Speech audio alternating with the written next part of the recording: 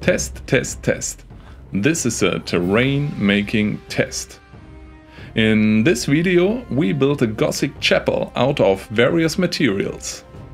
And to be able to work a bit more accurately, we use these printable templates in 28mm tabletop scale. The walls of the building are made of foam board. With a little water and a sponge, the cardboard layer can be removed easily. I wanted to try out whether the foam underneath can also be stamped well with a pencil. We'll see. Next, the wall segments are prepared and glued to the foam board. Sint PVA glue is the perfect adhesive for this job.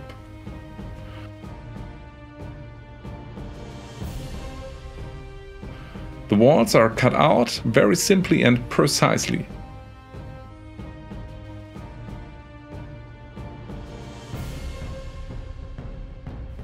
Now you can transfer the layout of the windows onto the foam with a pencil technique.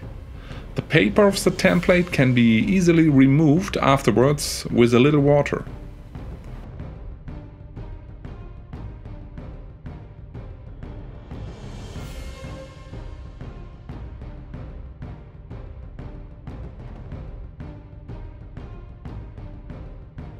The roof needs a substructure made of thin corrugated cardboard, for which there is of course also a suitable template.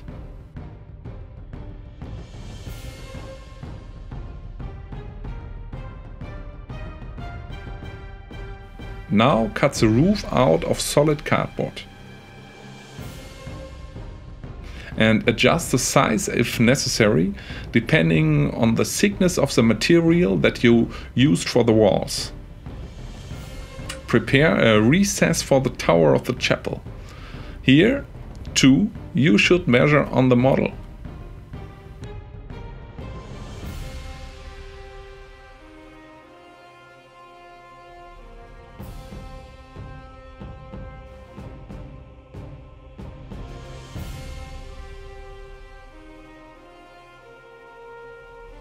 Sometimes you just need a strip of adhesive tape.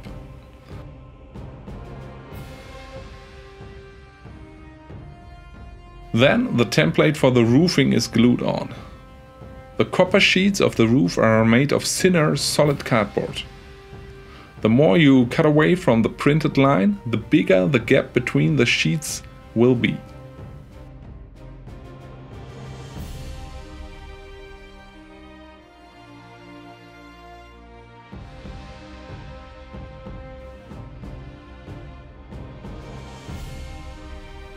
For the door I resorted to hard foam because I wanted the frame to protrude a little from the foundation wall.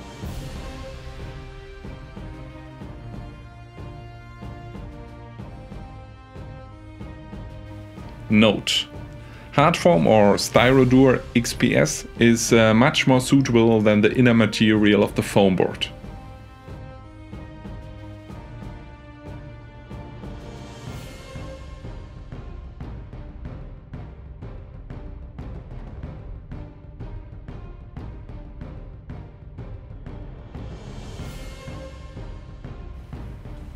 Thanks to the template, it fits perfectly straight away.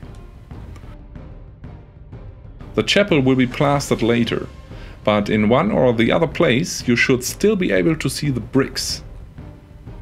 Supporting pillars uh, are glued to the corners. And now it is time to plaster the walls. I use conventional wall filler and some acrylic paint. The dabbing creates an interesting texture on the surface. Finally, I was not really satisfied with the windows. Gothic window arches should, should look a bit more symmetrical in my opinion. So I quickly printed out new templates and made uh, all the windows from 2mm thick cardboard again. The cardboard is sealed with diluted wood glue. That way it doesn't get soaked up so quickly.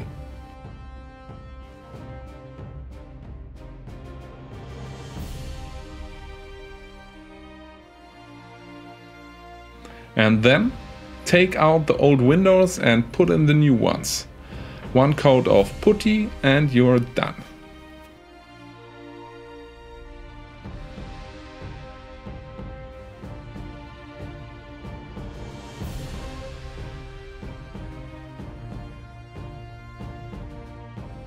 The next step is uh, the spire and the roof.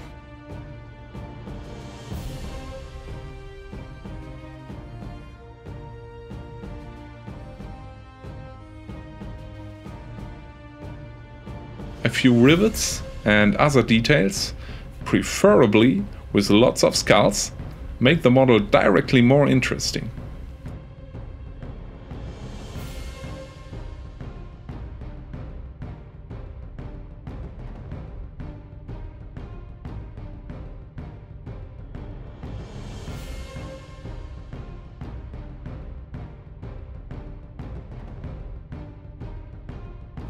Scrape off some plaster and uh, model more brickwork.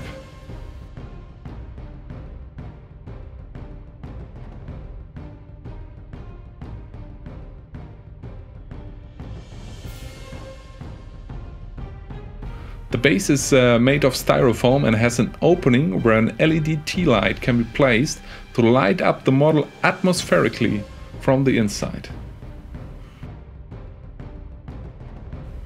Shape the base with your fingers, but uh, make sure you mark the position of the building.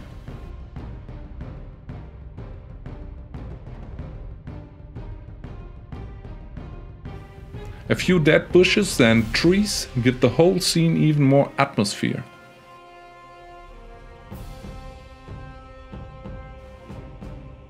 And finally, structure the base with a paste of putty, glue and sand. Have fun with crafting.